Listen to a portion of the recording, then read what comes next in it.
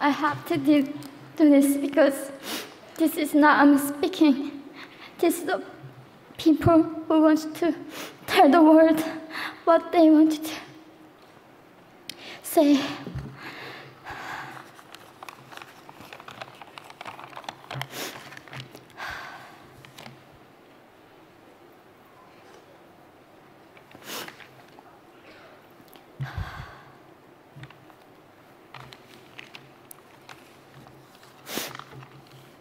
North Korea is an unimaginable country. There is only one channel on TV. There is no internet. We aren't free to sing, say, wear, or think what we want. North Korea is the only country in the world that executes people for making unauthorized international phone calls. North Koreans are being terrorized today. When I was growing up in North Korea, I never saw anything about love stories between men and women. No books, no songs, no press, no movies about love stories. There's no Romeo and Juliet. Every story was propaganda to brainwash us about the Kim dictators. I was born in 1993 and I was abducted at birth, even before I knew the words freedom or human rights. North Koreans are desperately seeking and dying for freedom at this moment. When I was nine years old, I saw my friend's mother publicly executed.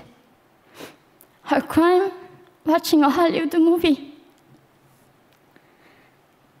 expressing doubt about the greatness of the regime can get three generations of a family imprisoned or executed. When I was four years old, I was warned by my mother not to even whisper. The birds and mice couldn't hear me. I admitted I thought the North Korean dictator could read my mind. My father died in China after we escaped North Korea. And I had to bury him at 3 a.m. in Sacred. I was 14 years old. I couldn't even cry. I was afraid to be sent back to North Korea. The day I escaped North Korea, I saw my mother raped. The rapist was a Chinese broker. He targeted me. I was 13 years old. There is a saying in North Korea women are weak, but mothers are strong. My mother allowed herself to be raped in order to protect me. North Korean refugees, about 300,000, are vulnerable in China. 70% of North Korean and teenage girls are being victimized, sometimes sold for as little as $200.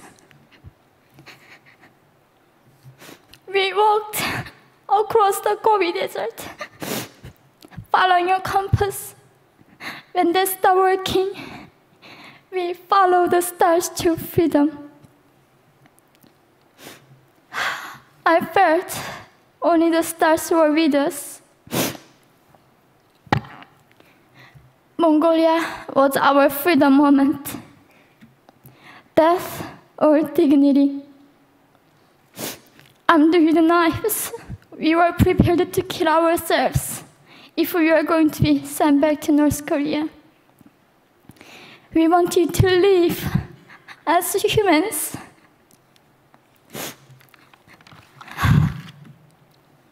People often ask me, how can we help North Koreans? There are many ways, but I would like to mention three for now.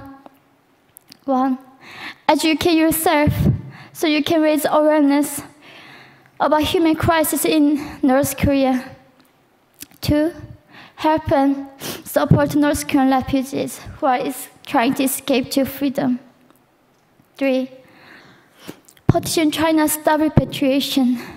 We have to shed a light on the darkest place in the world. It isn't just North Korean human rights. It's our rights that North Korean dictators have violated for seven decades. We need governments all around the world put more, to put more pressure on China to stop repatriation. In particular, Chinese delegates of One Young World can play a part by speaking up.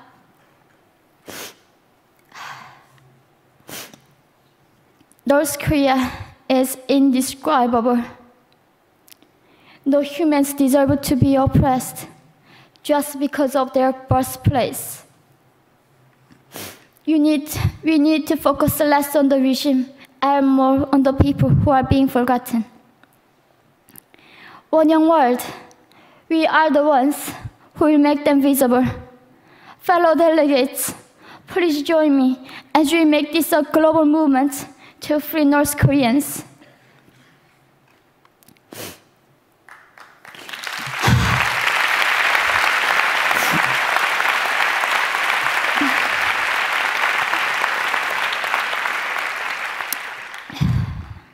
When I was crossing the Gobi Desert, scared of dying, I thought nobody in this world cared. It seemed that only the stars were with me. You have listened to my story. You have cared. Thank you very much.